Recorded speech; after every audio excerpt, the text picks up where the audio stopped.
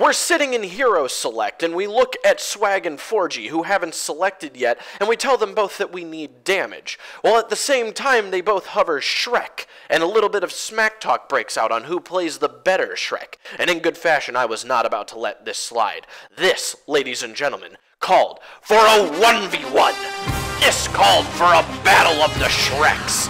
This is Swamp Wars. Now, all good swamp battles begin with a ceremonial dance of the warriors. It is done out of respect for the opponent.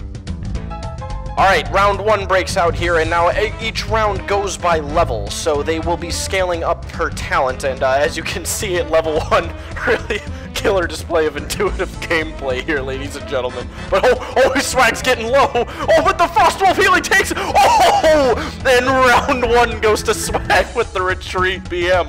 That was crazy. Now we head to lane with our Sylvanas crew soaking experience round two, and as the talents begin to come in, so does the gameplay scale up, and it seems that we've just got a battle of the healing right now. Oh, both Envenoms come out on 2-4G and Swag. Seems like the healing is just keeping up with the Frostwolf Resilience stacking off of both the W and the Q out of both of them, but the Wind Fury chase down from Swag. The both roots will land, but it seems like Swag gets the better exchange there. He's chasing 4G around the Fog of War, and the Wind Fury comes out once again. It seems, oh, but the lightning will bring him low, and there's the tap! Round three will introduce ultimates to the table here, so we've started them both on either side of the map so that it does not open with Sundering. As we can see, 4G is rocking the Fog of War here, hiding in this bush, but Swag makes his way down. Will he find... it? Oh! Oh! Vac! Vac alert! That might be an aimbot, but the, the root is returned. Oh, there comes the first Sundering. It seems to have interrupted 4G's, and Envenom comes out. He's making his way around the Fog of War, and Block is out, trying to alleviate some of that auto-attack damage chasing him down. It seems like only a matter of time for the next engage. The root lands, but it seems like, oh, oh, the Sundering comes out. That's going to be it. Oh, and Forgy takes it.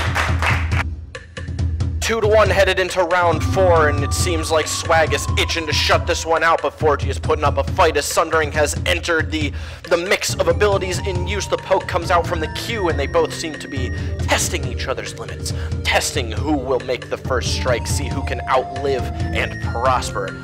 Things are, uh, really heating up here, as you can see. Oh, but Swag gets sight, and he's chasing him around the Fog of War. There may be a root. The root comes out, but the root is returned. Wind Fury comes out, and there's the Q, Envenom comes out onto Swag. Almost leaves the boundary of the arena there for a moment. Now Block is back up on 4G, both waiting for Envenom to take away.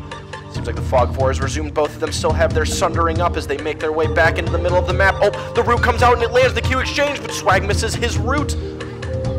Oh, Sundering comes out, stuns him around the Fog of War, and it seems like, oh, but the healing coming out of Wind Fury may just save him. It looks like he's gonna, oh, the Fog of War exchange once again, coming around. Oh, the Mist Root is gonna be huge. Oh my god, the Q-tap! What are you kidding? The fifth and final round is upon us. The score locked 2 to 2. This is for all of the marbles. Who the better Shrek is? It seems 4G is really rocking the boundaries of the map here. Swag is hiding in the fog of war, waiting, waiting for his prey to show. Once again, he's just hooking his way around over. Both roots will miss here. That is huge for the Frostwolf resilience. Seems that Swag has a little bit of poke on him but it seems that 4G is also waiting incredibly patiently. He knows that he's had the edge with both Sunderings in these past two rounds. Swag gets the root though. The root is returned, but the Frostwolf stack's coming out. The Blood for Blood will take him on the Sundering and the Envenom. Now that seems like more of a defensive Sundering there. Swag will not be in any pressure from that. 4G still can turn this around very easily. The block is. Oh my, what the fuck?